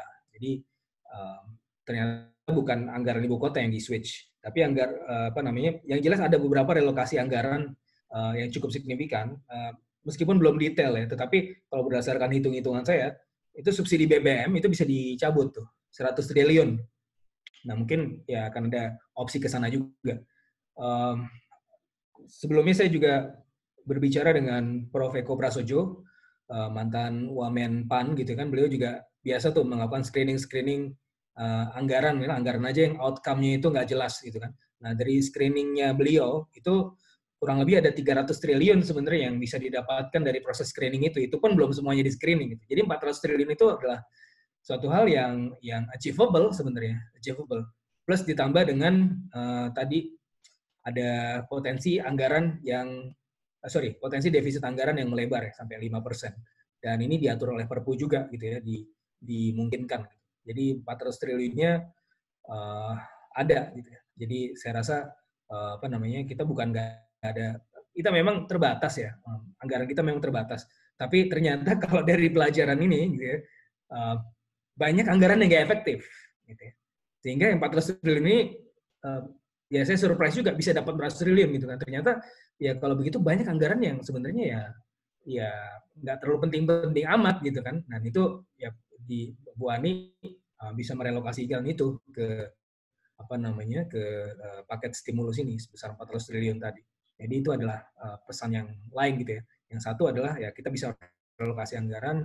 Yang kedua adalah ternyata anggaran yang ada sekarang ya nggak terlalu efektif karena yaitu kementerian-kementerian kan punya apa ya jadi kalau berdasarkan Undang-Undang 17 tahun 2003 money follow function atau uh, ya konsep money follow function itu kan seharusnya set anggaran itu dibuat dibuat dari nol gitu, ya, bukan dari anggaran sebelumnya. Nah, dibuat dari anggaran sebelumnya, di mana anggaran sebelumnya pun itu nggak efektif ketika dibuat di tahun ini dan biasanya itu seharusnya lebih tinggi daripada anggaran yang lain. Banyak anggaran itu yang yang nggak ini, nggak apa namanya, nggak efektif. Nah, selain relokasi anggaran ada uh, ini saldo saldo sisa sisa anggaran tahun uh, apa yang yang belum belum kepake terus kemudian uh, kayaknya nih di apa LPDP nih bahkan kepake nih soalnya ada apa uh, dana abadi juga yang kepake buat uh, 400 triliun ini plus uh, ini apa namanya nerbitin pandemic bond ya. Nerbitin pandemic bond. Uh, mahal nggak pandemic pandemic bond? Jelas mahal lah orang di situasi seperti ini orang lagi ketat gitu kan. Tapi tadi ada jaminan dari Bank Indonesia bahwa kalau kemahalan mereka bisa masuk ke pasar sebagai last buyer gitu. Jadi ya ya at all cost ini memang harus dilakukan ya. Kalau enggak uh, ya ini apa namanya uh, ketika kita menyelamatkan perekonomian sebenarnya kita menyelamatkan manusianya juga dan sebaliknya ketika kita juga menyelamat, kita menyelamatkan manusia maka kita juga menyelamatkan ekonomi maka ini sebenarnya suatu hal yang interchangeable itu Mbak Indun. Iya, saya akan melanjutkan. Ini ada pertanyaan kedua dari Bang Pius. Respon pemerintah berupa pengurangan PPH bagi bersimpanan 100M, 100 miliar ya. Apakah COVID ini kemudian berpotensi memperparah ketimpangan yang ada? Gimana, gimana? Coba, Mbak. Oke, okay, uh, eh, respon pemerintah berupa pengurangan PPH bagi bersimpanan 100M, 100 miliar, Oke. Okay. Dan uh, oke okay, dengan kebijakan seperti ini, apakah kemudian COVID ini berpotensi memperparah ketimpangan yang ada di Indonesia saat ini? Uh, kan yang nularin orang miskin. ya, ya gimana ya? Uh, memang dari sisi dari sisi itu terkesan ada ini, ada apa namanya uh, semacam uh, ketimpangan keberpihakan ya, di mana, di mana uh, orang-orang kaya dijamin, terus di mana orang-orang miskin. Tapi di sisi yang lain saya melihatnya, ini kan kita bicara mengenai ekosistem ya. Kita bicara ekosistem. Jadi jangan sampai kemudian perilaku orang-orang kaya ini itu menimbulkan kepanikan juga atau herd behavior gitu ya. Jadi ketika ini tidak apa namanya uh, tidak ada Eh, intervensi kepada orang-orang yang bermodal ini dan pada akhirnya orang-orang bermodal ini yang sebenarnya jumlahnya nggak banyak-banyak amat gitu kemudian uh, mereka berulah gitu ya dan menyebabkan market crash, maka yang yang kasihan kan orang miskin juga gitu. Jadi kita bicara mengenai the whole ecosystem. Uh, ya tahun 98 kan juga terjadi karena itu. Yang nularin COVID kan sebenarnya orang-orang yang sering jalan ke luar negeri gitu kan. Ya jadi orang-orang miskin ya kasihan gitu kan. Mereka udah nggak salah apa-apa gitu. Tapi uh, udah ketularan penyakitnya terus dituduh lagi menularkan penyakit gitu. Karena orang-orang kayak ini dianggap ya apa namanya uh, tidak punya salah. Nah, tapi balik lagi uh, ke di whole ecosystem kita ya menyelamatkan perekonomian, bukan menyelamatkan kelas-kelas ekonomi, tapi kita menyelamatkan perekonomian. Toh di situ juga sudah ada BLT dan lain-lain gitu ya. Dan ini yang yang sebenarnya kita uh, harapkan untuk bisa menunjang ya kehidupan masyarakat, terutama masyarakat yang paling rawan. Kalau berdasarkan estimasi dari Bank Dunia kan ada 115 juta orang bahkan ya yang rentan miskin. Artinya dalam kurang kurun waktu 20 tahun terakhir ini sebenarnya 115 juta orang ini telah berhasil escape from poverty sebenarnya. Tapi mereka masih tipis-tipis di jurang kemiskinan gitu kan. Ya kalau misalnya misalnya ada yang dorong ya sedikit ya, uh, ya balik lagi mereka jadi miskin gitu. Nah itu yang harus dipertahankan. Gitu. Dan saya rasa yang 110 triliun ini uh, ya sebagai awalan ya cukup lah ya. Gitu mbak. Indun. Ya, uh, baik. Ini ada pertanyaan yang mungkin agak bukan sesuatu yang praktikal ya, tapi saya bacakan aja. Siapa tahu ya. pada tertarik nih. Dari MHKV. Selamat siang. Akhir-akhir ini saya mendengar wacana akan adanya agenda resetting kapitalisme oleh negara hegemoni. Yang ingin saya tanyakan bagaimana pandangan kakak tentang agenda ini? dan seberapa besar pengaruhnya bagi perekonomian nasional negara berkembang seperti Indonesia dan mungkin yang satu level, yang setara ya, kondisi perekonomiannya. Baik, silahkan Mas Fitra. Mas Kavi bisa baca buku saya Globalization and Production Network uh, in ASEAN ya. Itu diterbitkan Paul Graves Macmillan tahun 2019 ya. Itu um, berbicara tentang globalisasi yang mana sekarang sebenarnya terjadi deglobalisasi. Alih-alih resetting capitalism, alih-alih kemudian membuat kapitalisme menjadi lebih hegemonik, saya melihat justru sekarang mereka menjadi uh, apa namanya uh, beralih dari liberalisasi gitu ya. Jadi negara-negara once the proponent of the free trade and liberalization ya negara-negara Eropa, negara-negara Amerika Serikat uh, apa seperti Amerika Serikat gitu. Sekarang mereka menarik diri. Kenapa? Karena mereka kalah sama Asia gitu kan.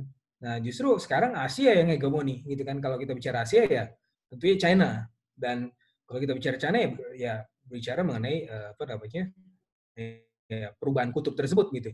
Jadi saya lebih melihat ke sana sih dan Indonesia sebenarnya punya potensi untuk ke sana karena ketika kita melihat bahwa uh, Amerika Serikat bahkan China mereka sudah kehilangan momen pertumbuhannya sebenarnya.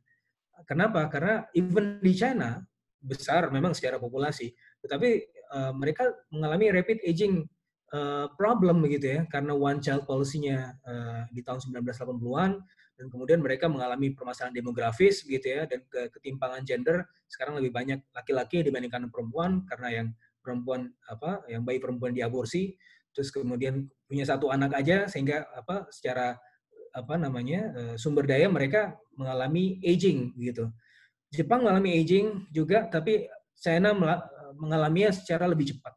Sementara Indonesia windows of opportunity kita masih ada gitu. Usia 15 sampai 64 tahun itu peaknya antara 2025 sampai tahun 2030. Jadi saya rasa sih Indonesia punya potensi untuk menjadi the new hegemon ya di apa di di uh, dunia gitu ya asalkan di treat secara tepat gitu. Makanya ketika kita mentreat COVID ini ya, we, we, we treat our future gitu kan. Jadi jangan sampai momentum apa apa eh, bonus demografi gitu ya usia-usia produktif itu harus hilang gara-gara covid. Nah ini yang harus kita jaga gitu kan. Makanya harus dijagain harus uh, supaya virusnya nggak nyebar. Gitu mbak Indun. Tahu deh saya cuma ngecap aja Mas Fitra boleh nanti tolong ditulis judul bukunya yang barusan dijelaskan. Jadi mungkin nanti supaya teman-teman yang mungkin ingin membaca lebih lanjut atau ingin tahu lebih lanjut Ya, yeah, oke. Okay. chat ya nanti ya.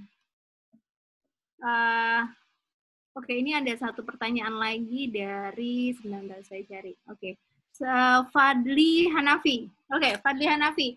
BI menurunkan 7 DRA salah satunya untuk dorong perekonomian, juga sebagai bagian dari upaya mitigasi dampak negatif virus corona. Nah, Pak Fitra menyebutkan tadi bahwa pelaku usaha, khususnya UMKM, juga nggak running. Jadi kira-kira penurunan ini efektif atau tidak, khususnya di tengah kondisi rupiah yang juga melemah saat ini. Ya, silahkan Mas. Uh, sebentar, yang mana ya? Itu tadi. Pertanyaan dari Fadli Hanafi, alumni FEUI. Ini yang posting okay. dari Jamie. Ha, tadi udah di copy. Okay. Uh, eh, di itu uh, di bawah Mas Irfan. Oke, okay, oke, okay, Okay. Jadi BI nurunin, terus kemudian uh, hmm. pelaku usaha juga running. Nah, gini. Jadi paket stimulus ini sebenarnya uh, saya membaginya menjadi beberapa termin ya. Jadi termin jangka pendek, menengah, dan panjang. Nah, yang di jangka pendek, ya paket stimulusnya itu akan sangat bermanfaat untuk dua dua apa namanya dua dua kelompok gitu ya. Yang pertama adalah uh, para petugas kesehatan, karena ini kan langsung ya impor alat kesehatan apa segala macam gitu kan. Terus yang kedua adalah kelompok yang paling rentan, gitu. Termasuk di situ adalah UMKM-UMKM yang memang skalanya sangat mikro gitu. Yang dibutuhkan mereka di saat-saat ini adalah bukan relaksasi kredit. Karena gimana mereka bisa beroperasi? Karena nggak running tadi ya saya sebutkan. Yang mereka butuhkan adalah ya dikasih duit gitu.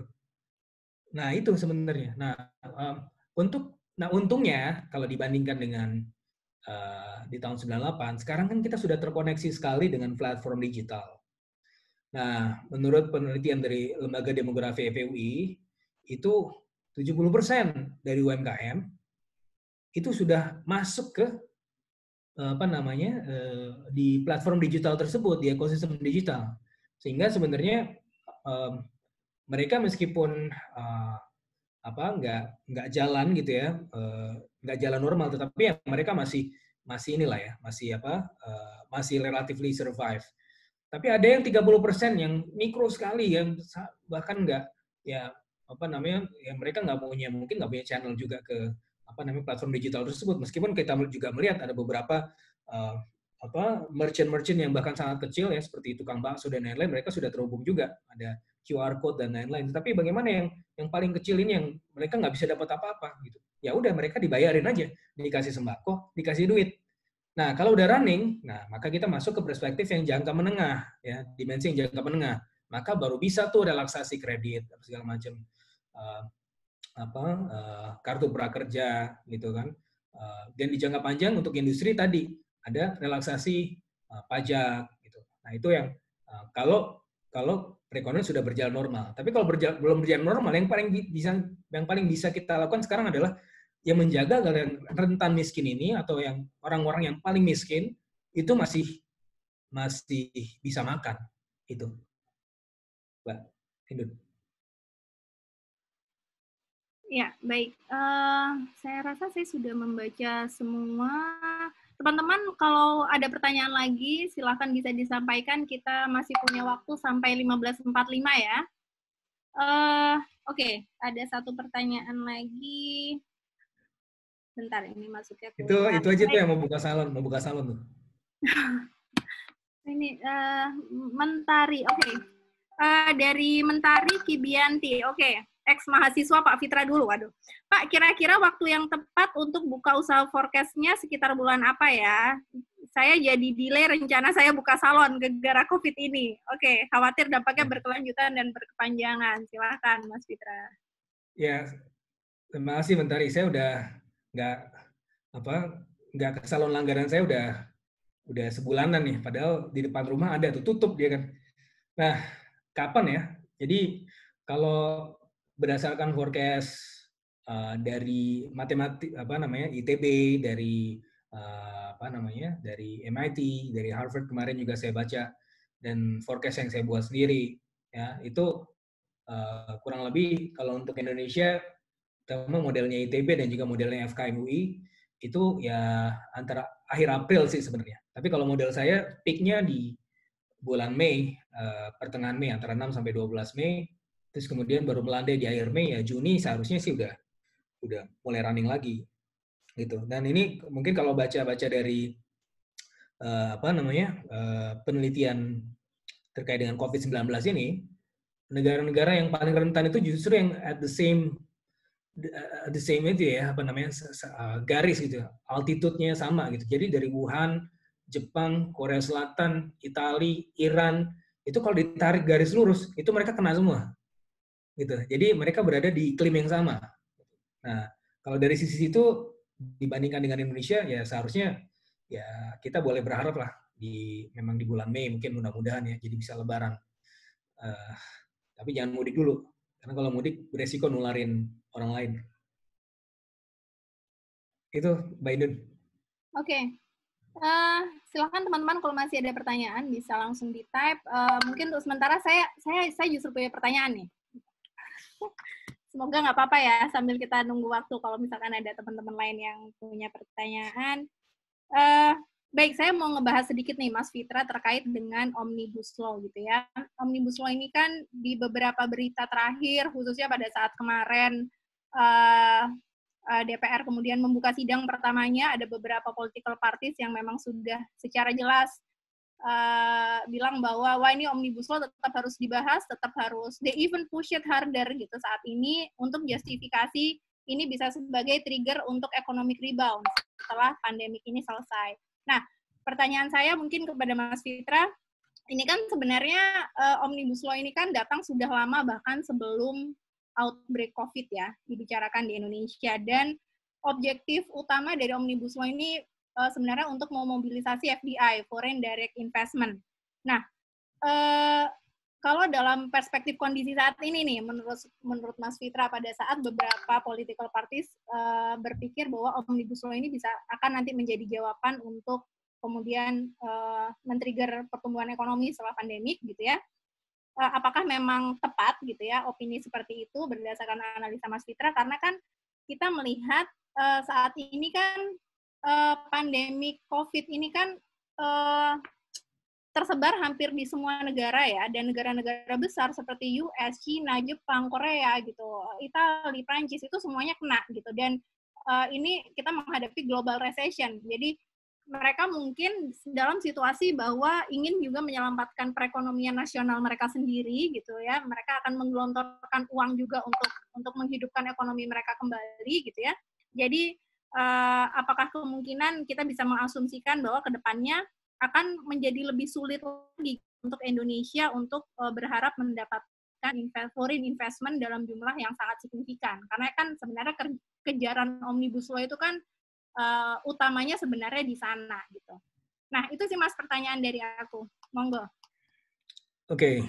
jadi saya punya waktu lima menit lagi nggak apa-apa ya? Ini gak saya apa, jawab singkat aja. Jadi begini, uh, jadi um, yang kita alami sekarang ini adalah uh, untuk perekonomian Indonesia uh, spesifik adalah permasalahan atau tantangan dari sisi supply ya. Nah, saya tidak melihat atau belum melihat suatu hal yang signifikan dari sisi demand. Ini, ini saya akan menjelaskan kenapa saya berbicara supply dan demand.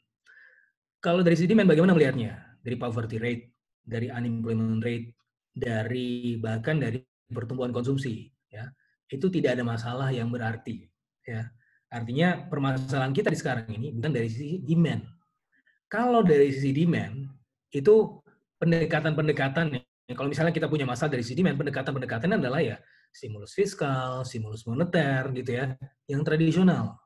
Nah itu pendekatan Keynesian. Nah tetapi yang kita alami sekarang adalah permasalahan dari sisi supply atau permasalahan neoklasikal Ya, permasalahan dari supply itu apa? Ada deindustrialisasi, ya, ada labor productivity, dan juga termasuk di dalamnya juga investasi dan lain-lain. Nah, untuk bisa mengatasi masalah ini, maka pendekatannya secara empirik dan juga sebagai uh, ada referensi akademiknya adalah pendekatan yang jauh lebih institusional.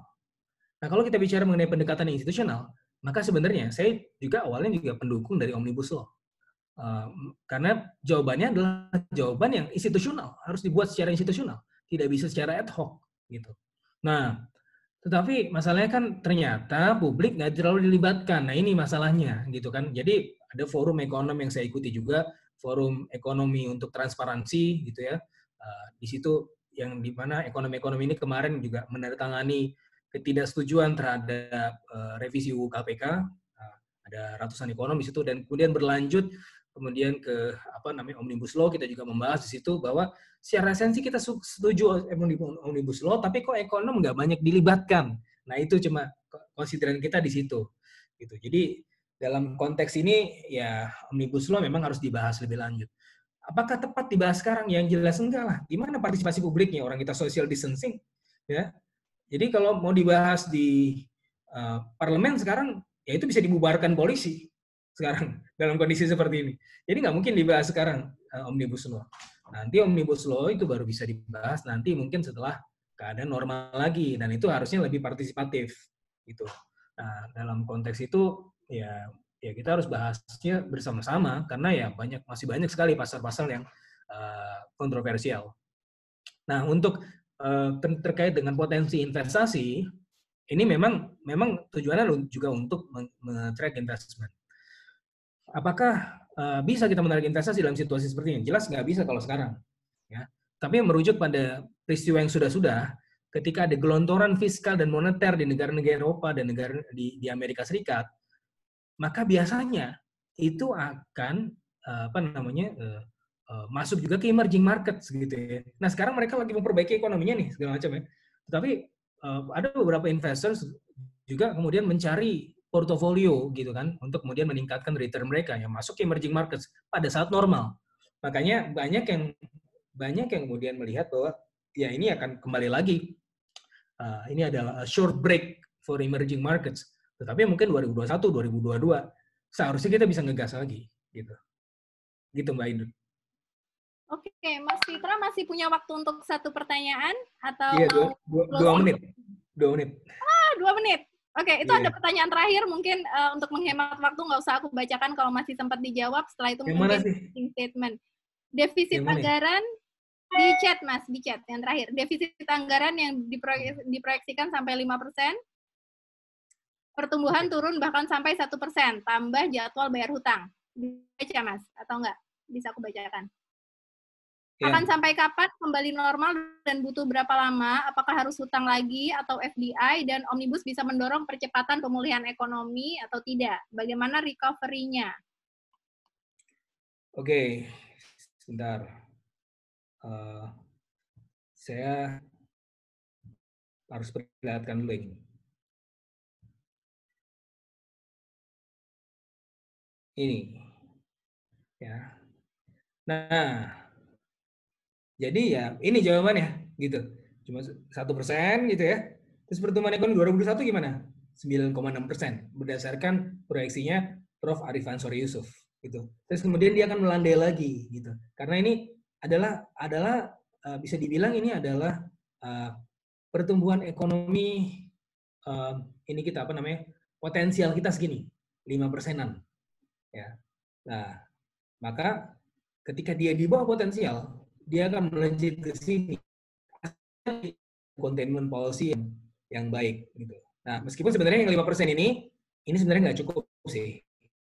Harus ada dorongan lain gitu, harus dorongan lagi. Makanya saya setuju omnibus law untuk difungsikan sebagai itu. Kalau enggak ya eh, kita nggak bakal kehilangan ini Windows kita karena berdasarkan hitung-hitungan saya sampai tahun 2030 minimal kita tumbuh enam setengah persen seharusnya ya supaya bisa uh, escape from middle income trap ya. Jangan jangan kejebak sama pernyataannya Donald Trump bahwa kita menjadi sudah menjadi negara maju. Belum belum menjadi negara maju. Jadi uh, kalau apa namanya untuk level negara maju minimal 12 ribu uh, US dollar per capita gitu ya. Jadi dalam satu tahun kita pendapatan 12 ribu per orang 12 ribu per orang gitu. Gimana bisa mencapai itu? Kalau pertumbuhannya enam setengah persen sampai tahun 2030 bagaimana bisa mendongkrak itu? Harusnya mendongkrak produktivitas nah caranya bagaimana dengan uh, apa namanya institutional factors kalau enggak ya siap-siap aja uh, menjadi tua sebelum kaya. Itu Maidun. Udah ya? uh, ini kayak sebenarnya ada beberapa pertanyaan, cuma karena waktunya sudah mepet banget dan Mas Fitra harus pergi, jadi teman-teman kalau misalnya... Nggak, pergi sih, meeting meeting meeting di sini oh, juga. Ada... Ya. Ya. Meeting online Masih, lagi. Tapi harus, okay, tapi harus pergi sekarang. Iya. Oke. Okay. Oke, okay, gini teman-teman, kalau misalkan memang masih ada pertanyaan, karena ada beberapa pertanyaan juga yang belum dijawab, silahkan diketik saja. Nanti akan kita kumpulkan dan kita akan emailkan ke Mas Fitra. Nanti semoga Mas Fitra uh, punya waktu untuk membalas, let's say by tomorrow kali Mas ya. Jadi nanti okay. akan kita sebarkan lagi ke teman-teman dalam bentuk jawaban tertulis langsung dari Mas Fitra. Gimana? Oke. Okay. Oke. Okay. Oke, okay, kalau gitu uh, terima kasih semuanya. Uh, saya Hindun Mulaika dari Greenpeace Indonesia. Terima kasih atas uh, paparannya juga Mas Fitra uh, dan juga teman-teman yang sudah sangat aktif hari ini uh, bertanya semua pertanyaan gitu ya, mulai dari hal yang detail sampai cukup ideologis. Mungkin Mas Fitra sebelum pergi boleh ada satu atau dua closing statements. Silahkan ya, sebelum saya Gimana ya? Closingnya? It's the economy stupid gitu aja. Oke, baik. Terima kasih semuanya. Selamat sore. Wassalamualaikum warahmatullahi wabarakatuh. Waalaikumsalam warahmatullahi wabarakatuh.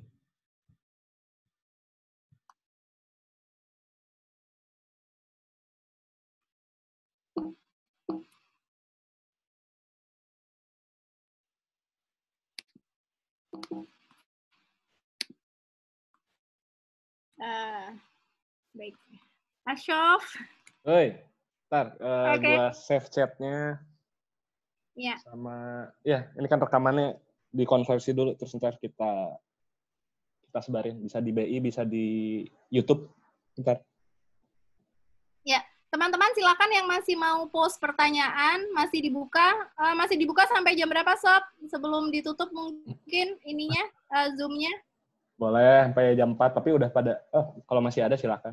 Jam 4 sih sampai jam 4. Oke, teman-teman yang masih ada pertanyaan, yang masih ada di chat room ini juga, pertanyaan masih dibuka, silakan diketik sampai jam 4 sore ini, ditunggu. Setelah itu akan kita compile dan kita kirimkan langsung ke Mas Fitra. Ya, tuh jawab Jamie dibuka buat apa, siapa yang jawab asli. Begitu Jam ya. Slide-nya kita mintain. Mbak Erika dan ya. yang lain-lain, Kuina juga nanti.